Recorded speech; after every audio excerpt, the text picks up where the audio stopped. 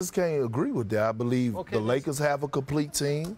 I believe that the Celtics and Philly both have complete teams. I mean, what is your definition of a complete team? I, I think a team that has look. look I, again, we're splitting hairs here. I, I understand. You're we're not splitting hairs. splitting hairs ever.